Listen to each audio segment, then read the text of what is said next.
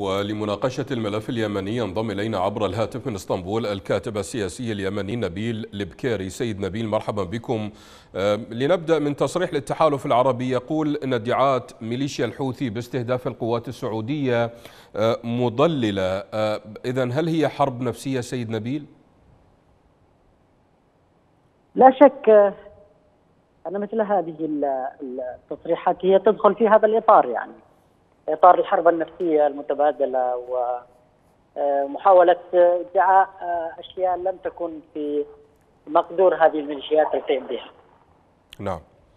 سيد نبيل سلوك الحوثيين رغم الاتفاقات والضمانات والتي كان آخرها اتفاق ستوكهولم، تعتقد أن هذا الاتفاق أصبح هو العدم سواء خاصة بعد الانتهاكات والخروقات التي ارتكبتها ميليشيا الحوثي منذ التوقيع اتفاق ستوكهولم هو في حقيقة الأمر اتفاق ولد ميتا.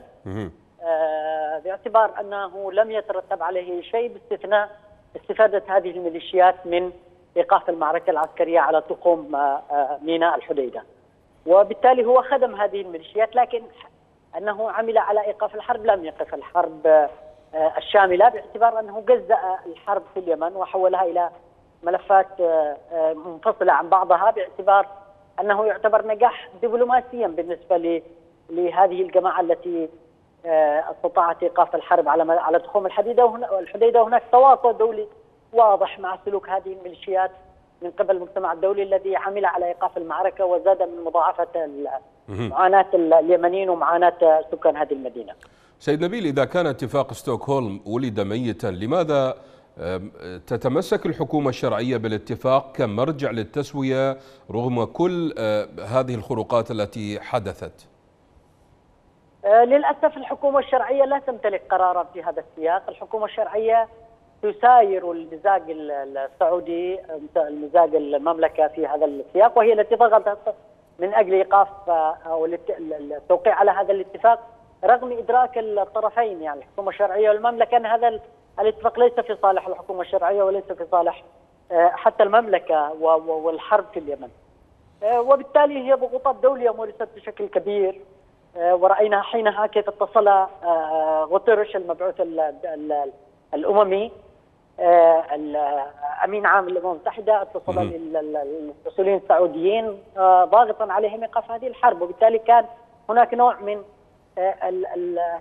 الموافقة الضمنية تحت هذه الضغوط لإيقاف هذه للتوقيع على هذا الاتفاق. سيد نبيل عدم الجنوح للتسوية من قبل الحوثيين ألا يؤكد أنها ربما تكون ذراع في لعبة أكبر من حديثها المزعوم عن تحرير اليمن؟ الحوثيون هم في هذه القضية بالذات قضية الحديدة كان من صالحهم الذهاب فيها لإيقاف الحرب، لكن أيضا كان هناك أوراق أخرى يجب أن تمضي بالتزامن مع قضية وقف إطلاق النار في الحديدة، كان هناك موضوع الأسرى، كان موضوع الألغام، تسليم الميناء، كل ذلك لم يتم، كل ما تم هو إيقاف المعركة في الحديدة. أما ما يتعلق بإيقاف هذه المعركة وهي مسألة إيقاف الانسحاب من الموانئ واستخراج الألغام وإطلاق الأسرى والمختطفين هذا لم يتم على الإطلاق وبالتالي أنا باعتقادي لم يكتب يكتب لهذا الاتفاق النجاح إلا فيما يتعلق بجزئية إيقاف المعركة في الحديده.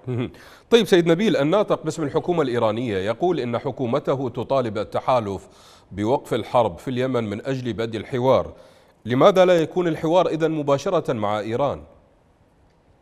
الإيرانيون هم من خلال هذه التصريحات المتكررة والدائمة هم يبحثون عن عن حوارات مباشرة مع إيران مع المملكة تحديدا. نعم.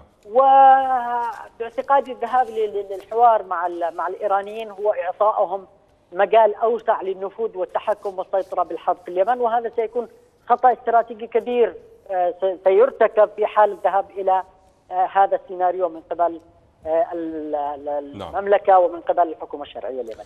من اسطنبول الكاتب السياسي اليمني نبيل البكيري شكرا جزيلا لكم.